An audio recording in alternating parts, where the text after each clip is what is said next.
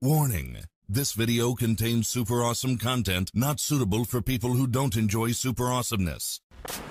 Good evening friends, this is Kumar Veerbhadra Singh and you are watching Shooter Unknown Returns.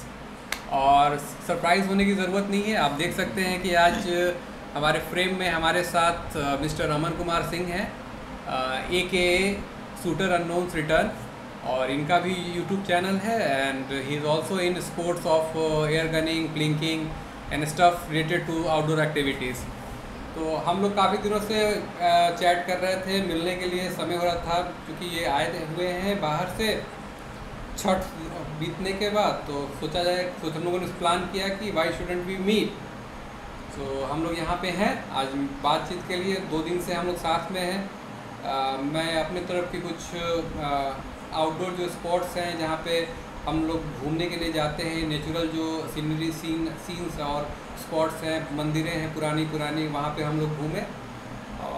It was a very great pleasure hosting this young fellow and I hope that we continue to you know keep meeting like this and मैं चाहूँगा ये कुछ बोले, अमन भी। तो भैया से मिलके बहुत ज़्यादा अच्छा लगा है। भैया बिल्कुल डाउन टू अर्थ आदमी है। बिल्कुल नेचर फ्रेंडली हैं। बहुत भाई के जैसे बिल्कुल थे हमारे साथ। मैं तो मिलने आने से पहले बहुत टेंशन में था कि बहुत बड़े इंसान हैं, कैसे मिलेंगे, कैसे क्या करेंगे। बट जो बिहेवियर था और जो ट्रीट मिला हमें अनएक्सपेक्टेड था मतलब एक दिन के रुकने के लिए आए थे और तीन दिन रुक चुके हैं हम। तो घर से डांट भी पड़ रही थी कि जल्दी घर आओ, लेकिन यहाँ रुकना लाजमी था। तो भैया जैसे कि बहुत सारे फ़ील्ड में हमने गन यूज़ किए तो कहीं ना कहीं उसमें Falcon point one seven seven भी था एच डी बी नाइट्रो भी था और कहीं ना कहीं पी एक्स वन हंड्रेड भी था। तो बहुत लोगों के मन में थोड़ा सवाल होगा तो उस चीज़ को आप क्लियर करें कि फ़ील्ड में देखिए फ्रैंकली अगर मैं मैंने कई जगहों पे ये चीज़ कही है आज भी मैं यहाँ पे चाहूँगा कि इस चीज़ को हम लोग रख। के कि जब हम लोग एक्यूरेसी की बात करते हैं तो P X one hundred is accurate gun okay with multi shot functionality है। लेकिन जहाँ पे पावर और इन सब चीज़ों की बात करते हैं उसके लिए फाल्कन चूँकि एयरफोर्स कॉन्डोर के प्लेटफॉर्म पे है तो आपने देखा है फाल्कन का इम्पैक्ट देखा है कि पत्थर कैसे तोड़ता है टाइल्स कैसे तोड़ता है कितनी लक, लकड़ियों को वो छेद सकता है। स्टॉप्स यू हैव सीन और मैं कहूँगा कि सारे गन्स अच्छे होते हैं। मुझे अक्सर ये पूछते हैं लोग कि एच डी बी जेना एन एक्स टू हंड्रेड या H D B sniper versus N X two hundred N X two hundred से बड़ा कंपटीशन कंपटीशन मेरा ये मानना है कि अगर आप ट्रूली अगर एयर गनर हैं अगर आपको इसमें हॉबी है तो हर गन को आप अपने बच्चे के जैसे ट्रीट करें। जिस तरह गार्जियन के लिए ये बहुत मुश्किल होता है डिसाइड करना कौन गन अच्छा है कौन कौन बच्चा मेरा करीबी प्यारा है और कौन कम नहीं हमसे ये बहुत मुश्किल है बताना। कि कौन बच्चा मेरा ज़्यादा प्यारा है कौन कम है सब उसके लिए बराबर होते हैं। सारे गन्स हैं मैं ये कहना चाहूँगा कि अलग अलग पर्पसेज हैं उनके। मल्टी शॉट चाहिए पी एक्स वन हंड्रेड तो मुझे लगता है कि सच मामलों में ना आ, मतलब 80 से नब्बे हज़ार के तक के ब्रैकेट में जो भी पीसीपी इंपोर्टेड होकर इंडिया में आ रहे हैं। जी। उन सबसे अच्छा अपना पी एक्स वन हंड्रेड है। चाहे आप एक्यूरेसी की बात कर लो, चाहे आप बात कर लो कि लार्जर टाइप के पैलेट जिसमें एक्यूरेट चल रहे चाहे easy to repair easy to maintain pump hand pump friendly है 180 सीसी के करीब का उसका टैंक है। अगर आपका पंप अच्छा हो तो 60 पंप में तो वो टॉप अप हो जाता है। तो ये सब चीज़ अगर हम लोग देखें तो पी एक्स हंड्रेड अस्सी नब्बे हज़ार के गन जो इम्पोर्टेड गन है, उससे ज़्यादा वैल्यू फॉर मनी है। एक्यूरेसी भी आप देख ही रहे क्या है? जी।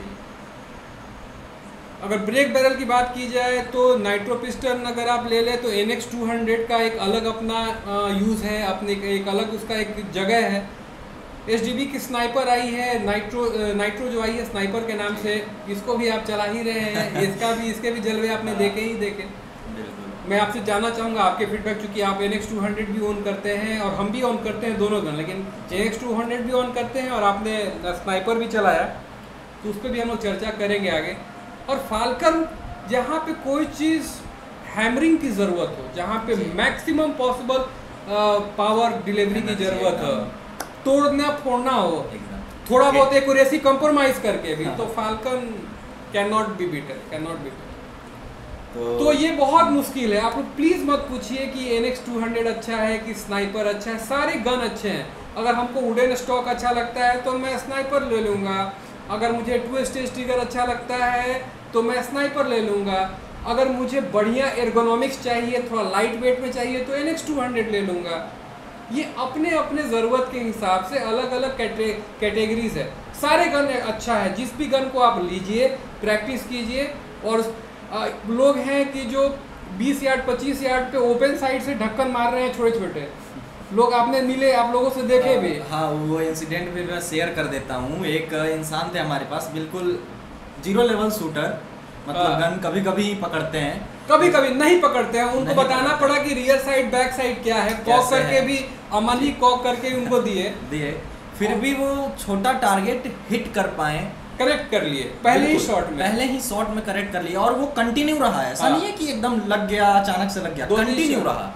कंटिन्यू रहा जो कि बहुत अच्छी चीज़ है। तो गन कहीं ना कहीं यहाँ साथ दे रहा था तब भी उस शूटर ने वो और कोई भी गन मेरा मानना है अमन की कोई भी गन। कोई भी गन ठीक है फॉर दैट मैटर अगर आप उसके साथ अच्छा समय प्रैक्टिस में व्यक्त करते हैं और आप उसके साथ अच्छा इम्यूनेशन यूज़ करते हैं तो वो गन आपको किसी भी महँगी ब्रांडेड या जो भी फैंटेसाइज करने वाली गन होती है ना उसके बराबर का वो आपको एक्यूरेसी आप उस पर अच्छा कर पाइएगा।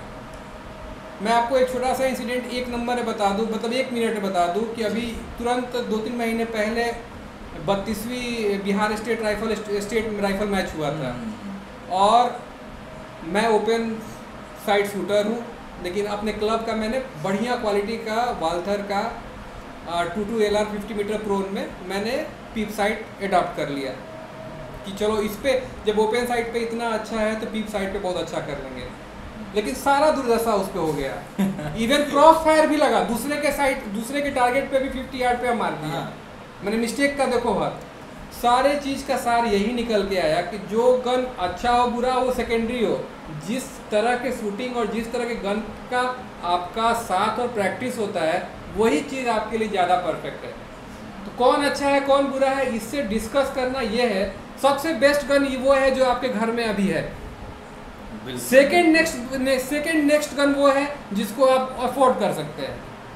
तो ये सब छोटी छोटी चीज़ें हैं लोग लेकिन यूट्यूब है या तरह तरह की चीज़ें हैं लोग देख के जो है फॉलो करने के चक्कर में जो चीज़ आपके पास है अगर आप उसके साथ प्रैक्टिस करते हैं आपने देखा? जी। Thirty, forty yards open sides पे किस टाइप के इम्पैक्ट्स हैं? स्टीवी स्नाइपर का तो मतलब रिज़ल्ट